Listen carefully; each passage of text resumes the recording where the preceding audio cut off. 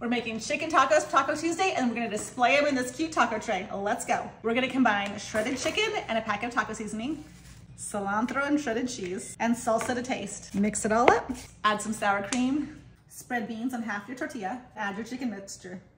Some oil in the pan, cooking mine until they're golden and crispy. Leave it to me to use too big of tortillas for the taco tray. If I were you, I'd use smaller tortillas and then you can fit sour cream, guacamole, or salsa in the center. Comment links for the recipe and shopping info.